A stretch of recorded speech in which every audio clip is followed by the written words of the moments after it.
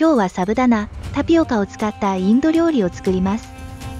以前、レシピのリクエストをくださった方、お待たせいたしました。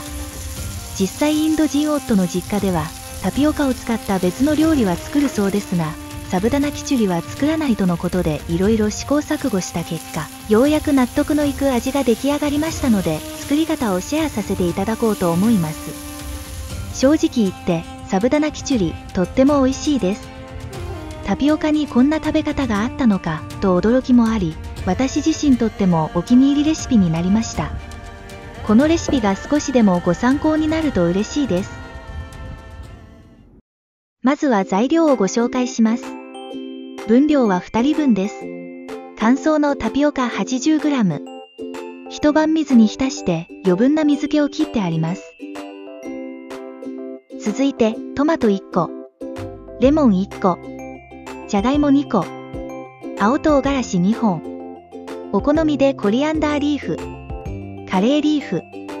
カレーリーフはあると良いですが、省略しても美味しく作れます。続いて、カシューナッツ、ピーナッツ、そしてすでに言ってある、薄皮付きのピーナッツもお好きなだけご用意してくださいね。使用するスパイスは、クミンシード小さじ1と、レッドチリパウダーをお好みの辛さの分だけ。そして塩小さじ1と、油は使わず、ギー大さじ2を使います。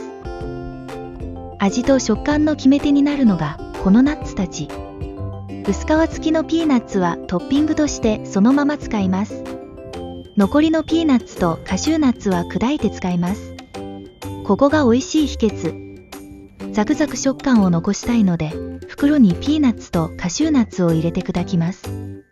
このように、いつもチャパティを作っている綿棒をローリングさせて砕くと騒音にならずおすすめです。タピオカのもちもちとした弾力のある食感とナッツのカリッとした歯ごたえのバランスがサブダナキチュリの美味しさの一つだと思います。では炒めていきますね。まずはギーをフライパンに入れギーがしっかり溶けたら青唐辛子。クミンシード。カレーリーフを加えます。すでにお気づきの方もいらっしゃるかもしれませんがカレーリーフの木をようやく手に入れました。